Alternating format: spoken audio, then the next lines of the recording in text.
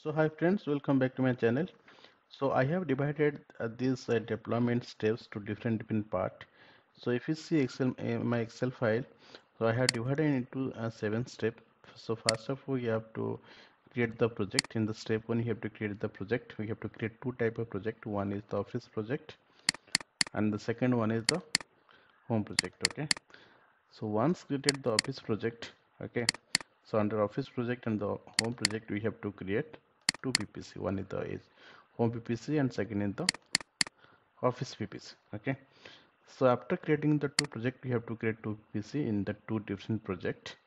Once created two vpc we have to create two bpm two vm okay?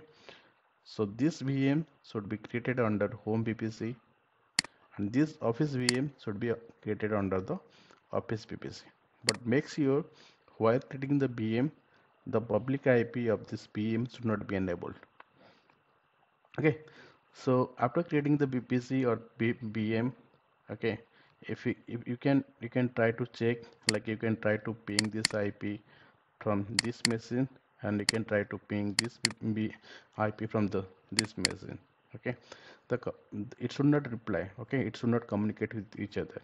Okay, and after that we have to create the cloud HA VPN gateway under both project okay then we have to go, I have to go uh, Google Cloud Console we have to create the VPN so in the VPN while you open the VPN you will get two type of classic uh, VPN one is the classic VPN and second would be the HA VPN but we have to select the HA VPN because our target is we have to implement the HA VPN okay so in the HA VPN while creating the gateway while creating the cloud VPN gateway it will provide two public IP okay?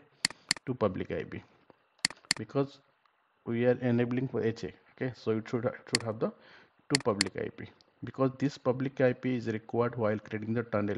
Because while while connecting the tunnel this tunnel will ask to enter the public IP of your peering okay? Peering like the remote uh, like the remote public IP or remote public IP for different project okay so this public IP is required while creating the tunnel.